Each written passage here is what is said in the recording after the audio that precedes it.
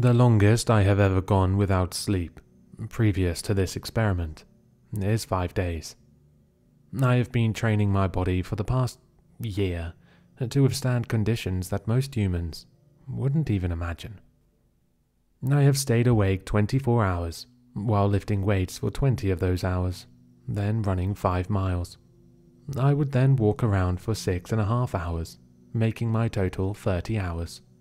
For the next 18 hours, I would continue my life like every day. Writing, documenting, talking, walking, working, etc. I have done this experiment successfully around 10 times, straining myself for 48 hours. I now have the stamina of. well, I don't know what to call it, but I have it.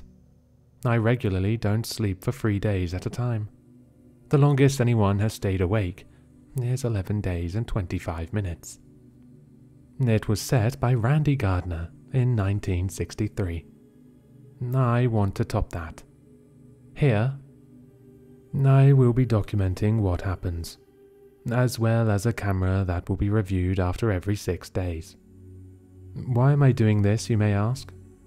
Well, me and a friend of mine want to see the effects that lack of sleep have on the human body. I won't have contact with anyone for as long as I can go without falling asleep. I will not use any energy boosters. Hmm. Wish me luck. Day 1, 12.03 am. Hmm. These first 24 hours have been a breeze. No signs of hallucinations, sleep deprivation, loss of cognitive or sensory abilities, and no eye bags. All work done today has been productive and easily completed. Appetite is unaffected. No signs of aggression or change in mood.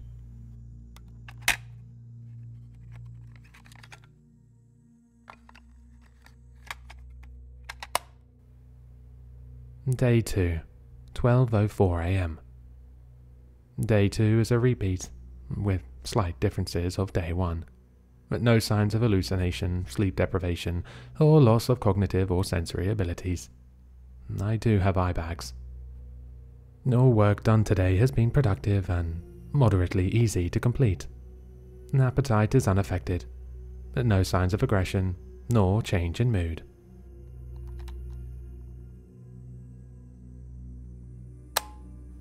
Day 3, 12.01am.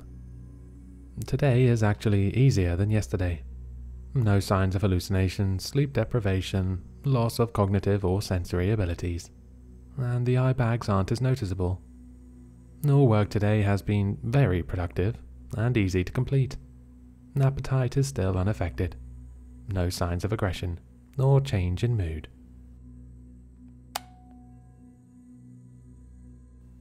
Day 4, 12.02 am. Today has been the worst by far. No, no signs of hallucinations. Signs of early sleep deprivations. No loss of cognitive or sensory abilities, though. Eye bags are carrying groceries. All work done today was not productive and moderately difficult to complete. Appetite is unaffected. No signs of aggression. Uh, mood has been declined.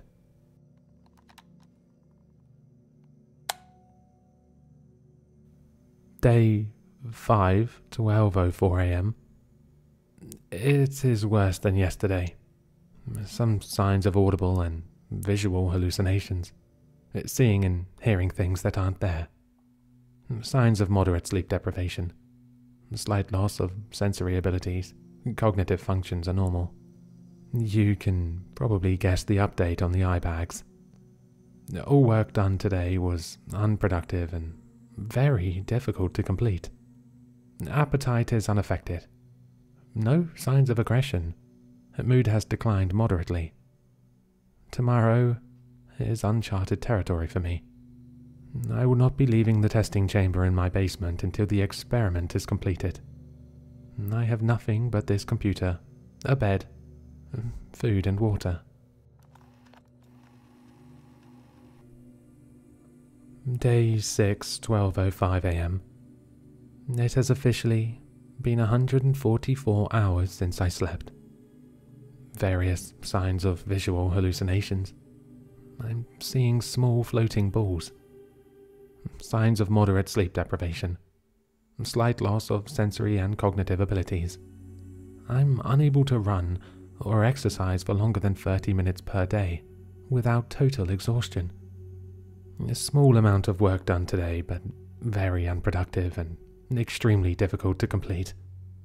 Appetite slightly affected due to sickness of the stomach. Some signs of irritation, no aggression. Mood has declined moderately.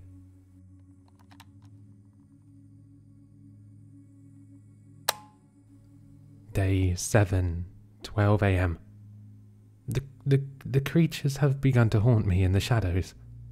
Hmm, I can ignore them for now. I have severe sleep deprivation. I have almost lost my ability to speak, and cannot exercise or run, unable to do any work whatsoever. Appetite affected slightly, due to vomiting. Extremely irritated. Some signs of aggression. Mood has declined severely. Day 8, 12.05 am. The monsters have been gone for today. I have severe sleep deprivation. I cannot exercise or run. Appetite moderately affected due to vomiting and inability to digest food. Extremely irritated. Signs of aggression. Mood is non existent. Day 9, 12.07 am. The monsters still aren't back, but they are watching. Always watching. I don't want to sleep anymore. I cannot run or exercise. I cannot eat, but I can drink small amounts at a time. I vomited six times today. I don't know if I'm being paranoid, but any noises at all have me wanting to scream. I have been trying to attack the creatures in the walls. I don't think my mood is any better.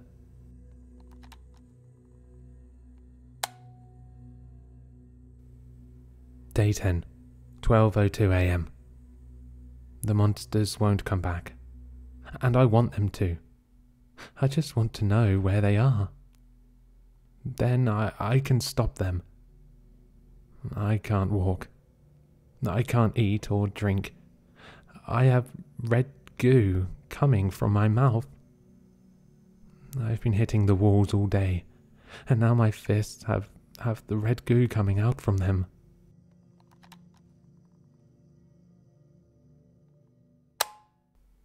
Day 11, 12.03 am.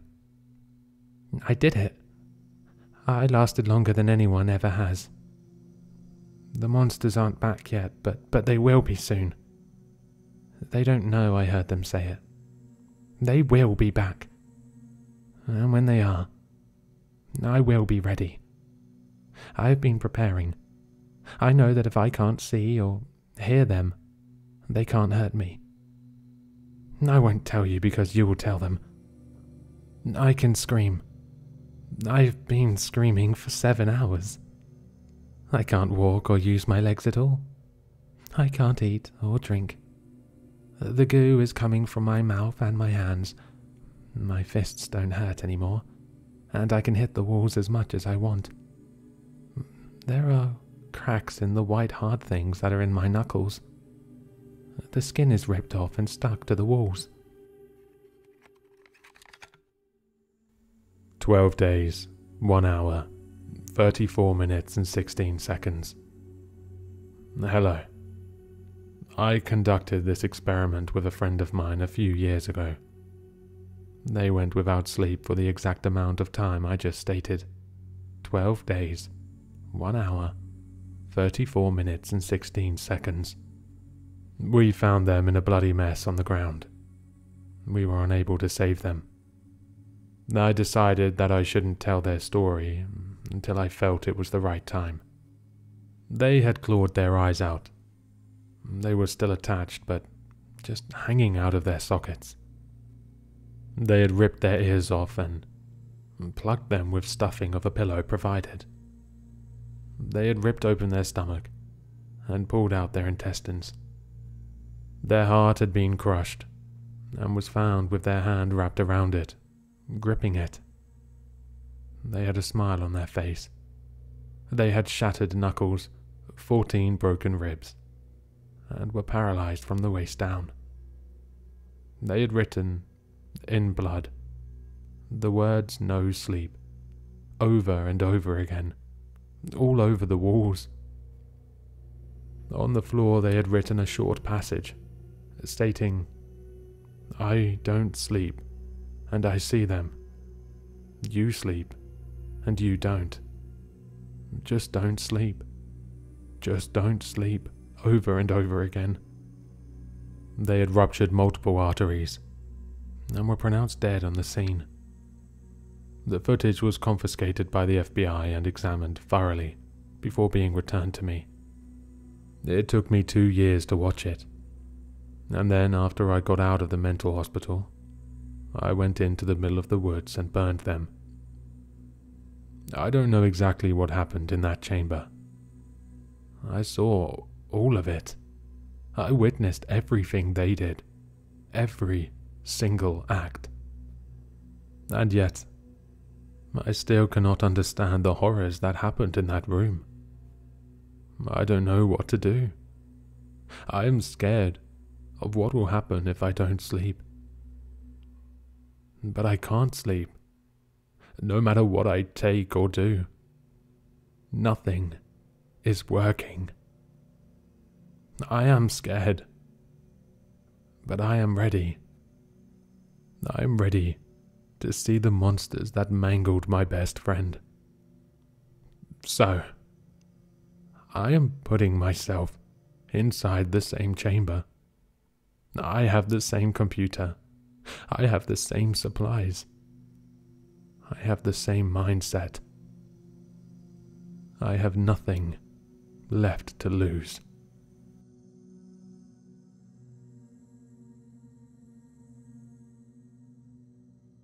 Hello, sinister listeners.